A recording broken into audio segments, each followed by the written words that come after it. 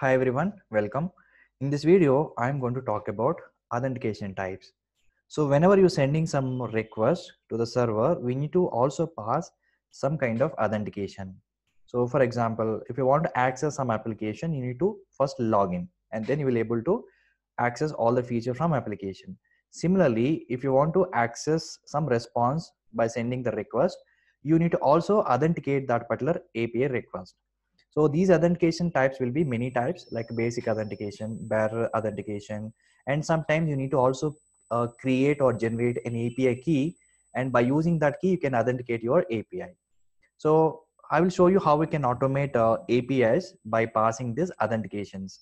So in this video, I'm mainly focusing on basic authentication. In the coming videos, I will show you uh, other type of authentications. So first of all, let us see what is basic authentication. Now, first of all, let's go to Postman and I'll show you a small API. So I have this API request and this is basically get request.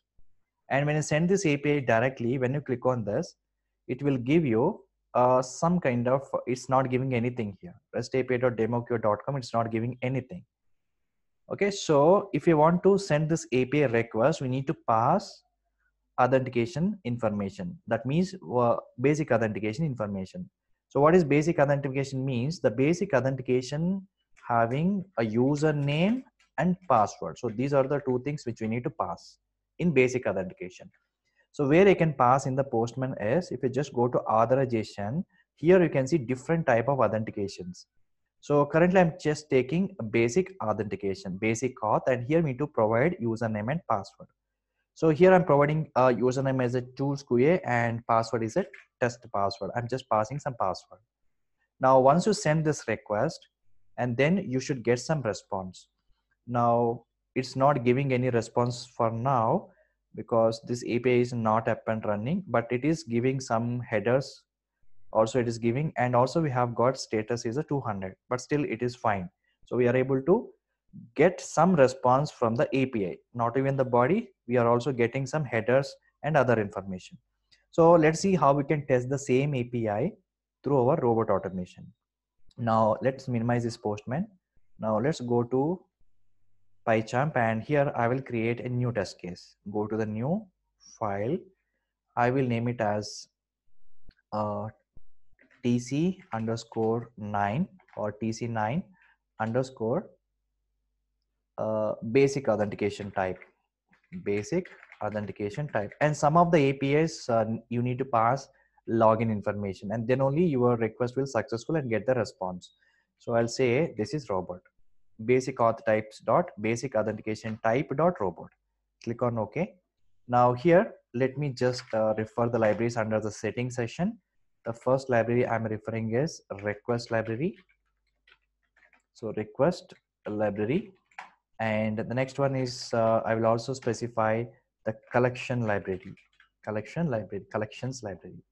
Now i will also define the variable section and here i will say base url i will specify base underscore url and my base url is the same thing. If i just go to postman this is my base url copy and specify here.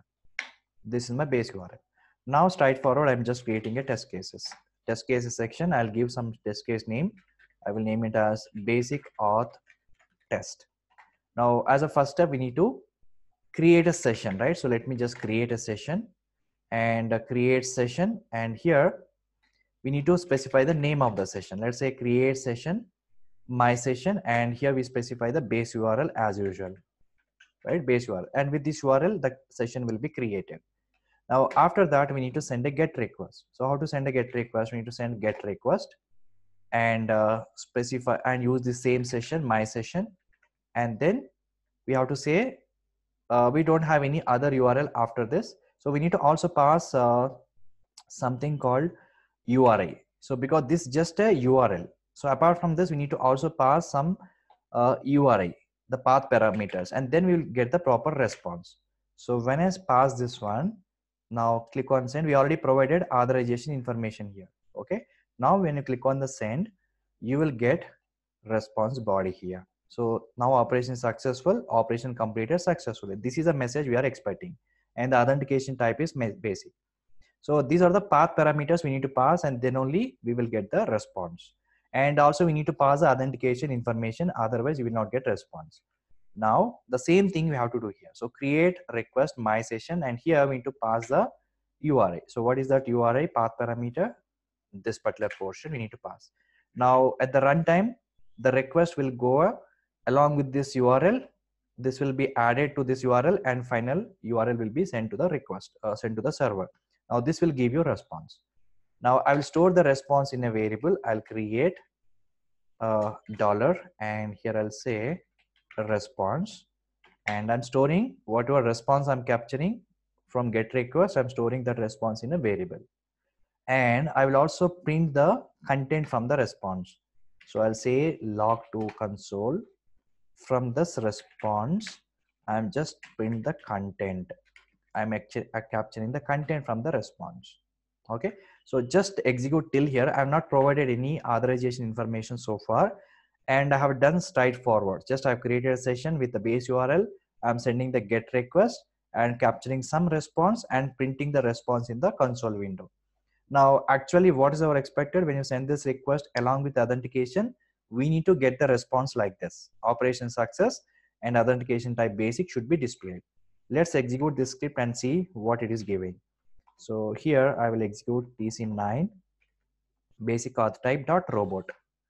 So once we have executed this now we can see it is uh, saying passed but we haven't put any validation point. But here if you just notice what it's saying as a response here fault user invalid user password fault user invalid user password and invalid or expired authentication key provided so until unless we provided a proper authentication, you cannot get the proper response from this API request. So what we have to do now is we need to pass the authentication information to request this particular API.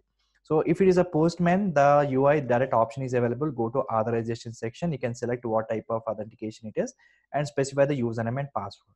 But how we can pass this information inside the robot framework. So to do this, we have to first before creating the session itself we need to create one variable called auth variable and you can give any name to this i'm just creating an auth variable this is just a variable i'm just creating and this variable is a list variable. So username and password. I want to store username and password in a variable. Now this variable must be a list type of variable. So here i'm creating a create list. And here I'll pass username and password. So my username is tools QA and give one space. And my password is uh, test password. Test password. So I have given username and password. And these two values will be stored inside this list.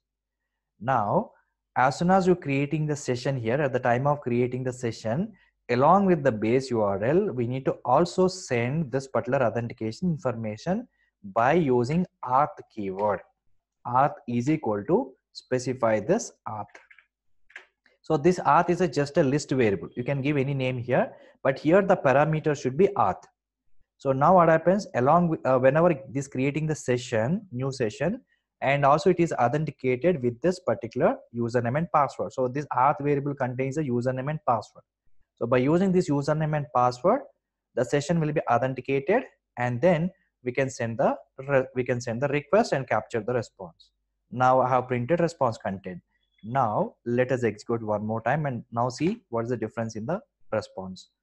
Yes now i have executed. Now we can see again it is saying fault user invalid username password invalid username and password so we have done something make uh, we have done something mistake here. Let's uh, see what is the mistake we have done here. So i say auth is equal to create list tools qa is my username and test yeah this is a spelling mistake actually. So this is p-a-s-s okay there's a spelling mistake. Now let's execute one more time. Clear the buffer and execute. All right so now we can see one more time. Yes now we capture exact response here so username and password is these things and authentication type is basic and successfully operation is completed so this is the same message we are um, also expecting from this response.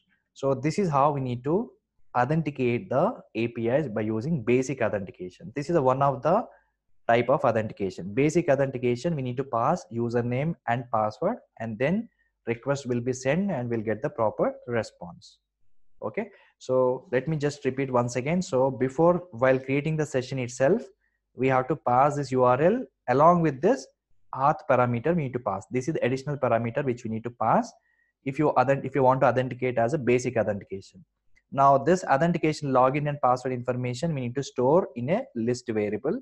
And that variable we need to pass as a parameter along with this base url that's the only thing you have to do and rest of the things are exactly the same. And if you want to validate the response you can also add one more verification point. So for example from this response content i want to verify the status code. So let me just write status code. And status code is normally uh, in the form of uh, uh, integer. We need to convert that into string. So directly i'm using should be uh, should be equal as strings and specify this one response dot content response not content i'm going to check the status code. I'll say status underscore code. And what's expected status code should be? 200 so this is a validation point. So you can also should you can also use should be equal but again we need to convert this uh, uh, response code into string format by using two string uh, keyword. So instead of doing that i'm directly straightforward i have used should be equal as strings so from this particular response it captures the status code and convert that into string then compare with this our value. Now this is whole test case. Now let me execute one more time. Right so now my test case is got passed and we capture the proper response right? So this is how we need to authenticate apis by using basic authentication. In the next video i will show you how we can handle bearer authentication right? So that's all for this video guys. So thanks for watching